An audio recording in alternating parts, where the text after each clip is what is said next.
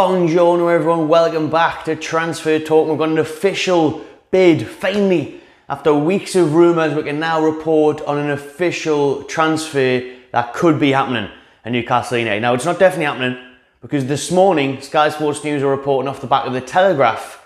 Newcastle United have bid £40 million for Leicester City's midfielder James Maddison and Leicester City have rejected that bid. Now, Leicester value James Maddison, the England international. Well, we're seeing England international, he's played one game, but he's floating around the circles, isn't he, of the England camp for quite some time.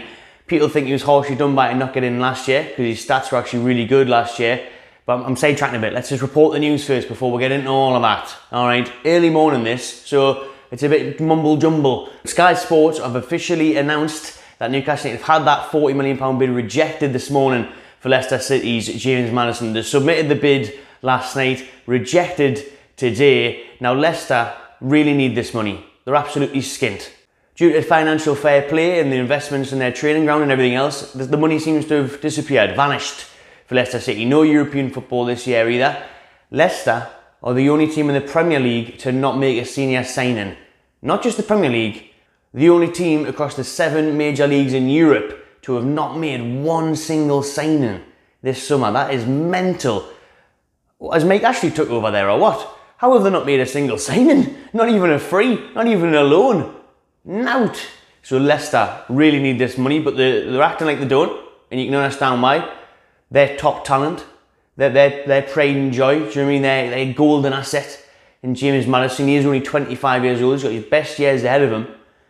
They're trying to keep a hold of him, but they're not in a way because apparently Dharmesh Sheth from Sky Sports was saying Leicester would accept closer to 60 million pounds. So Leicester value Maddison at around 60 million pounds. You'd probably be able to get him for about 50 million plus add-ons, you know, if they rise to around 55, 58 million, which I think is honestly definitely worth it. I mean, there's a mixed thing on Twitter. Well, not everyone's really positive, but there was still some people saying no to James Maddison. Like, are you absolutely mental? James Maddison is an unreal player. Like, that would be outstanding signing, absolutely amazing signing, and that came out of completely nowhere. And that's the thing that I said would happen, didn't I? I said James Maddison hasn't once been linked with Newcastle this window. I haven't done one video on Maddison because not one journalist has reported. It, I've heard nothing.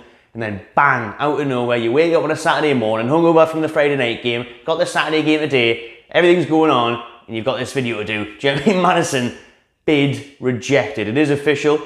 So will Newcastle go back in with a with a bid you know, closer to 50, 60 million, I think they will.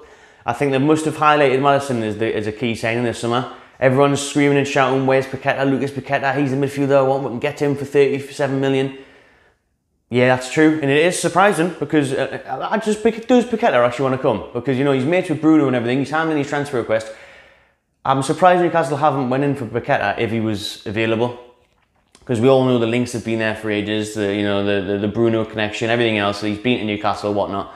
But that's not that doesn't look like it's happening because Paqueta plays mm, quite similar to Maddison. I mean, Maddison's very much a number ten, isn't he? Literally wears a number ten, but he is the number ten. Newcastle would be looking to play him behind Callum Wilson.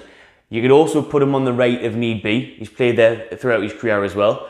Um, Paqueta would be more so that de- definitely in the midfield three, wouldn't he? Making things happen, getting forward. So a bit of both really. But yeah, Newcastle are valuing Maddison instead. They could be looking at an ex-England superstar in James Maddison. He's, he has played for England. He is floating around them international ranks. If Newcastle get him, and then he starts playing well for us, he gets an England side. He's only 25, like I've said, so by the time he reaches 27, 28, he could be starting for England, and he could be representing Newcastle. You know, that's huge. Maddison has played European football with Leicester. He's been there a few years now. He probably wants a fresh challenge.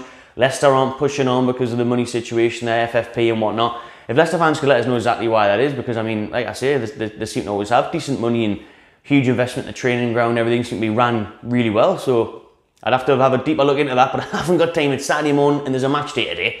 So for now, Maddison, you know what I mean, his stats are on the screen there now.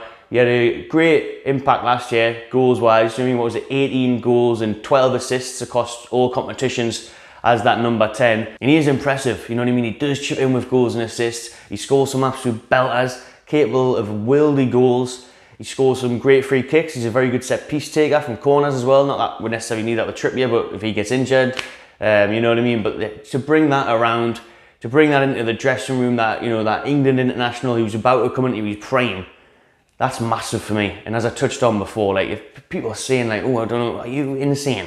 Premier League proven at the perfect age, ready to kick on, can play in the positions what we need where we lack massive creativity. This would be an outstanding thing. This would be, really make people sit up and notice Newcastle United if we went in with a 50 million pound bid, improved bid for Maddison, and he came and he was wearing the black and white next season. I seen, to be fair, DL Sports, big up AGT, was just doing a, a, little stream there. There was people in the comments saying, down if Newcastle saying Maddison, they could get top five, top six. Probably wouldn't go that far. But that's the improvement that it is, and that's the recognition and the notice you're getting there. You know what I mean? Because Maddison would be a massive signing. Massive Maddison. Do you know what I mean? So will Newcastle go back in with an improved bid? I think we will. I think we will. And then I think Maddison will be keen on it. Probably too keen, actually. He loves the Newcastle lifestyle. Do you know what I mean? He got no bit of bother with England and Leicester, didn't he? Breaking the lockdown rules and all that.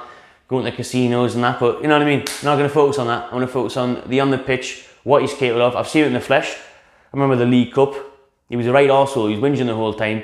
You know, he was whinging all the time to the referee, getting fouls, winding people up. But you kind of need that character on the pitch. And he was brilliant that day. He scored the penalty, and you know he's he's he's played some very good games against Newcastle. Actually, he's really caught the eye. He's a massive talent. If Newcastle could sign him, that would be huge, huge. 40 million bid rejected Saturday morning. Leicester want 60 million. Can they meet at around 50, 55 million? We'll wait and see. Drop your comments below how you feel about James Maddison being linked to Newcastle United. Subscribe to the Magpie Channel TV. See you on the next one.